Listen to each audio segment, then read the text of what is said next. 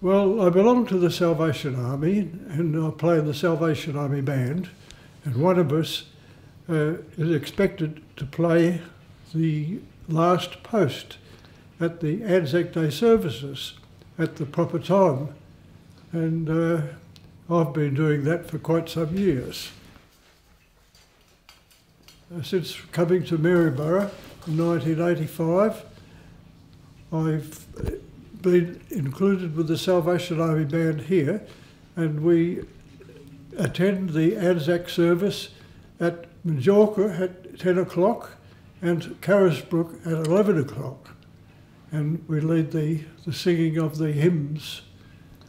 And I, I have been the, the chosen one to play the last post. And I feel privileged to have been able to do that up till now. Pretty right, I think.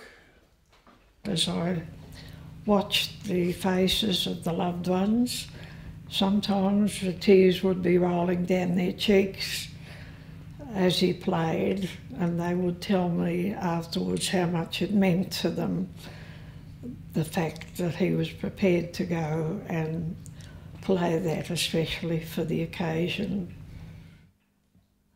I started playing in 1931 at the age of 10. And the bandmaster who taught me to play the scales, his name was Joe Scales. I thought that was rather appropriate. a dear fellow. He was a returned serviceman from the First World War.